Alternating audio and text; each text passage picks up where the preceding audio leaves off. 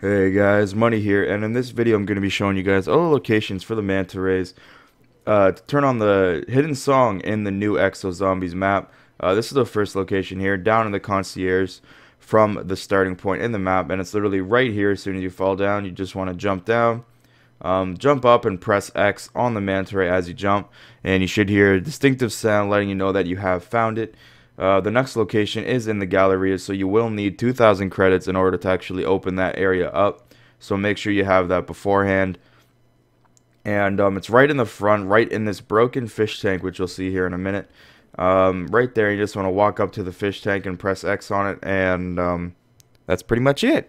And then the third and final one is on top of the map, but you will need the Exo the Exo suit to get on there, and it's on top of the Exo Health machine, I believe.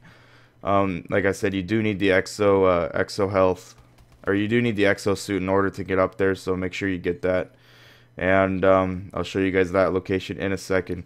Uh, I'll also put a name, pardon me, put the name of the actual um, song in the description so you guys can check it out for yourself or check it out in the game for yourself as I will not be putting it. Uh, this is where it is. It's in the title generator. That's what I meant to say. And it's up the stairs all the way at the top until you are outside.